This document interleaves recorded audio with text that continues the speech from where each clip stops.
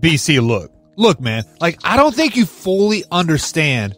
When I say Lamar Jackson is trash, I'm not saying he is the worst quarterback in the league, but he is definitely not the best quarterback in the league. When you say somebody is trash, it is, it is based off the perception of the general public.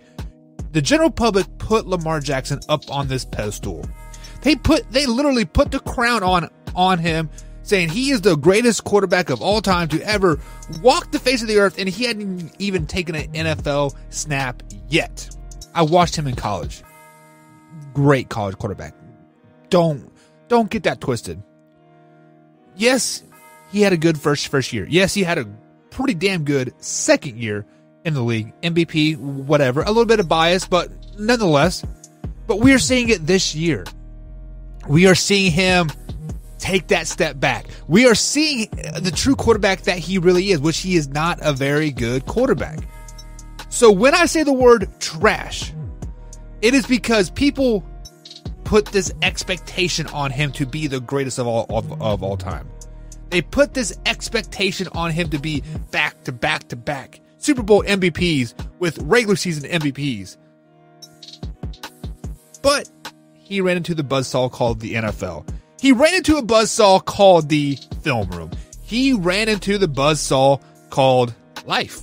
Like, let's be flat out honest. He showed up, had a great, what, eight or nine games or whatever he played his first year. Pretty damn good second year. Yes, MVP caliber year.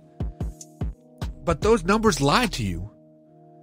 Those numbers lied to you guys. I saw it with my eyes. He was making those 50 50 balls were going his way nine times out of 10. To make him look better on paper than he actually was. Yes, he has a great running ability. The best running ability I think I've seen out of a air quote quarterback ever. Even better than Michael Vick and uh, Randall Cunningham or uh, whoever else running back you want to compare him to. Yes, I think he is the best scrambling quarterback of all time. But when we measure quarterbacks, we measure them with arm talent. We measure them with Super Bowl rings. We measure them with wins in the cold months. December, January. How many wins does Lamar Jackson have in January? I'll wait. I'll wait.